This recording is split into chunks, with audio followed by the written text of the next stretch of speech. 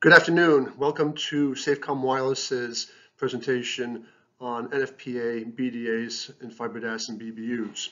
Uh, we have 15 minutes, so let's get to it.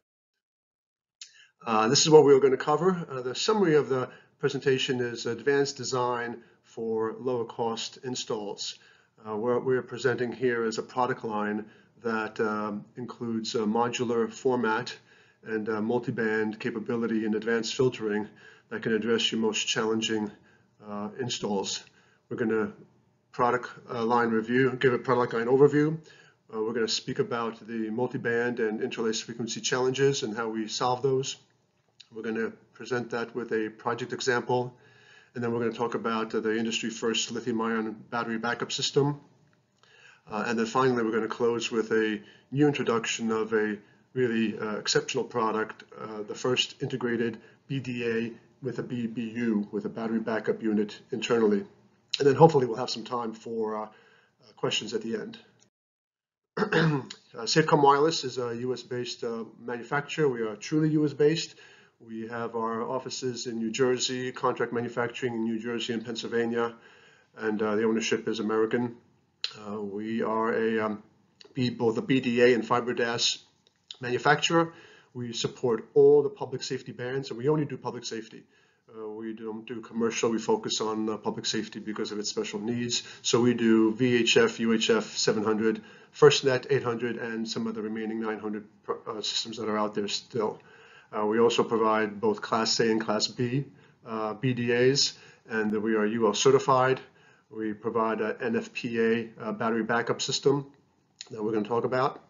We also have annunciators and for those of you in the New York region, we also make a channel 11, channel 12 ARCS repeater. I won't cover that in this presentation, but if uh, you're familiar with that and uh, you want to get some more information, we can talk afterwards. Uh, so here's the uh, multi-band and interlaced frequency challenge. Um, everyone knows that uh, when an agency goes uh, gets frequencies, they get their allotment, and at least in the UHF band, frequencies are separated by a 3 and 5 megahertz uh, band. Then the second agency will do the same, get their own uh, uplink and downlink bands. But what no one anticipated is that both of these systems would be uh, connected and integrated onto a common system. And there you have uh, interlaced frequencies. And of course, the frequency mix can get even much more complicated than just uh, two agencies and two bands. So ideally, what you'd want to do is put an individual filter sized properly on each one of those bands, no matter how many you have, no matter how wide they are. Some may be Class A filters, some may be Class B filters. And that's essentially what we do with our solution. So what we have is a modular system, as you see here. Each one of those plug-in cards can be a full band, for instance, the full uh, 9 megahertz, uh, 800 megahertz band, or the 6 megahertz, 700 megahertz band, or any of the UHF and VHF bands or sub-bands. And with advanced filtering, uh, specifically um, super heterodyne receivers, which is the same filter technology that's used in uh, base stations, that's how we provide excellent um, sub-filtering capability that can address those very close in frequencies. And in some cases, we have um, uh, integrated and shipped products with 30 kilohertz separations between uh, uplink and downlink in the VHF band, all integrated into a 18-inch NEMA. So let's um, uh, present a project uh, that uh, demonstrates the advantages of uh, this approach. We'll call it Project Alpha. It's a 3 million square foot facility. It's using both 800 megahertz and VHF frequencies, and the VHF frequencies are interlaced. And of course, there's a small space uh, allowed for the equipment, and so that's the. So the bottom line in this uh, uh, challenge is uh, that when we compare it with other suppliers, um, Safecom solution is on the left. So this would be the head end side, for example. Um, the, um, the, the, head end uh, unit is a fully integrated unit with a donor antenna port and then the fiber uh, ports serving the remotes. And then the BBU is the battery backup unit. In this case, both of the units are 18 inch uh, by 18 inch by 7 inch deep uh, wall hang mount unit. The BBU is quite compact because of the lithium ion uh, technology. And here you see a summary of the volume that that solution takes up, 2.6 cubic feet, and the weight of the two boxes together, including the battery, which is 100 pounds, versus uh, an alternative solution which uh, takes on a lot more. Uh, let me see if I can move this thing here. Yeah. Um, so here you see, in this case, um, uh, the, uh, there's no integration of the two bands. Uh, 800 megahertz and VHF need to be separate units, quite big and quite heavy and huge power consumers. Each one requires its own BBU. And then, of course, it requires a separate fiber uh, interface, which is not NEMA enclosed, so you're going to have to provide your own NEMA box for that. And then uh, for the interlaced VHF, you're going to have to get your own uh, duplexer for that very complex interlaced uh, frequency set. So all told, uh, these boxes occupy almost 10 cubic feet and weigh half a, uh, five over 500 pounds. So that's you know quite a job in um, in cost and shipping and handling it and mounting it and integrating and connecting it. Um, and so you can see the clear advantage of the highly integrated solution that um, Safecom can provide. Uh, on the remote side, it's a similar story. Um, here we can use the smaller BBU, which is a 15 by 11 inch box that powers uh, a remote. And again, the size and the weight is uh, quite reasonable. Um, most important on the uh, service side is that uh, you'd likely have to have a separate uh, transmit and receive antenna system because um, the other guys can't handle the close in frequency with the uh, diplexing and the, or the duplexing and the filtering of the uh, interlaced frequencies, whereas we can provide all of that integrated in an 18-inch box, and you can uh, more than half your time and expense um, required for the uh, installation and handling um, because of the high integration level. So it's a huge advantage in time and cost and uh, ultimately money. Okay, so now let's uh, address the um, backup battery unit. It's the industry first lithium ion backup battery unit. It's a modular uh, card system, just like the uh, BDA uh, solution is. It's easily expandable. It's uh, compact and lightweight. For instance, this is a uh, 15 by 11 inch by 7 inch NEMA enclosure, and it can handle 1,000 watt hours, which would cover about 85% of our product line. Uh, for the few systems that uh, are larger, uh, the BBU would come in our 18 inch box. So the maximum size that it would ever be is uh, uh, 18 by 18 inches by 7 inches off the wall. So really incredibly uh, lightweight and compact.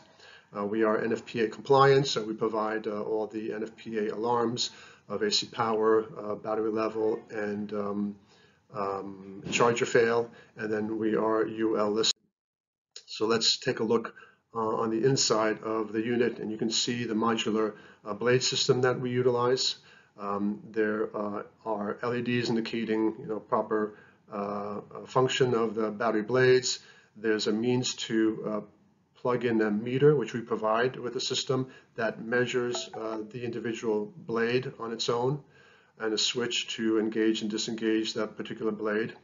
And in this case, you see our, again, our 15 inch uh, NEMA with four of the blades uh, populated. Uh, anything over a thousand watt hours would uh, go into the uh, 18 inch NEMA. And down below here is a control panel. So let's take a closer look at that. And so here's the control panel. Uh, starting with the left side, these two connectors are going to be occupied when you get the unit. One has the uh, internal battery charger plugged into it, and then the other one has the AC power supply uh, plugged into it, supplying power to the system under AC conditions. Uh, the plug is conveniently located here from a charger because then you can disconnect it and exercise the um, uh, uh, charger fail alarm. Uh, so that's there for convenience and makes it easy to get past uh, your inspection. Uh, this will be uh, permanently connected to the AC power supply. And then on the right side, here is the connection to the BDA. So we're going to provide you with this uh, six foot jumper that connects the BDA with the BBU. And right there you have powered up your BDA and delivered the NFPA alarms to the BDA. And so that all the NFPA alarms including the BDA's uh, alarms of uh, antenna fail, amplifier, and um, component uh, alarms uh, are annunciated um, through the uh, relays on the BDA. Also conveniently here we provide a um, EPO, an emergency power off switch connection. Many AHJs require that. You can simply connect a normally open or normally closed external switch to these ports right here. And, um, and you can, uh, it uh, turns off the uh, uh, power to the BDA. Uh, this is an internal switch in parallel with that external switch. So again, you can um, turn off the BDA power by clicking the switch.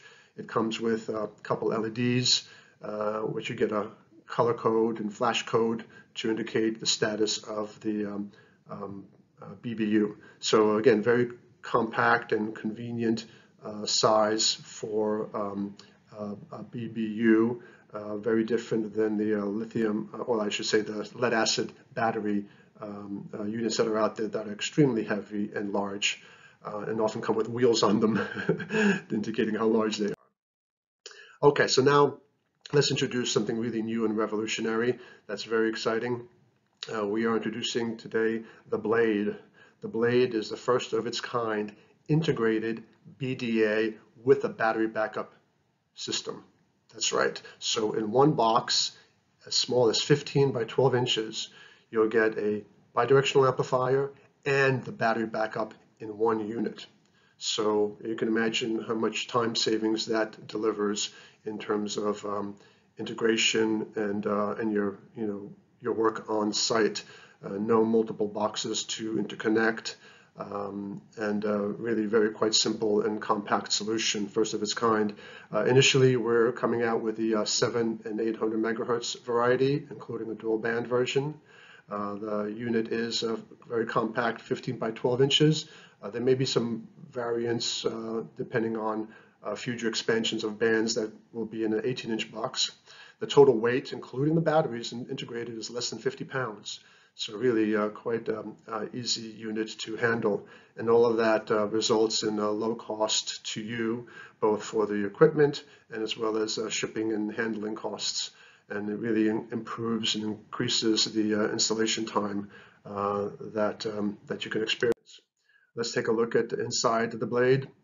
And you can see a blade system. So here's your battery blade system, which utilizes the uh, lithium ion uh, blades that can be occupied with a 12 or 24 hour capacity. That's right, we can do 24 hour capacity in this unit under most conditions.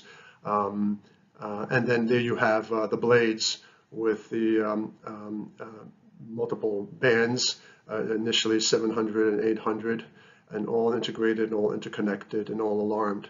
So the alarms will come out of here. All the NFPA alarms are available, both for, both for the battery system and the uh, and the BDA, and it makes for incredibly compact and um, and uh, and efficient um, install. So uh, this is going to be available in the fall of this year. So please keep uh, tuned for that. Okay, then in summary, uh, what we introduced was a uh, modular uh, product line, both for the BDA, FiberDAS, and uh, uh, backup battery unit. Uh, we address and show you how we address the challenges of multi-band systems and interlaced frequencies, um, where we have a modular system that allows for plug-and-play cards of uh, different bands and even an expansion of the capability by plugging in an additional card in the future. Let's say they, you know, go with uh, um, 800 and UHF today, and uh, in six months they want FirstNet. Well, that would be a matter of plugging in a couple of cards to add the FirstNet capability. Uh, we talked about a project example where you get tremendous uh, weight and uh, volume savings. We showed you the industry first lithium ion backup battery unit and then truly a world first introduction of the integrated BDA and BBU. Um, and that's uh, uh, is the, the, presentation and I think we have a few more minutes for questions. So uh, thanks very much for your time.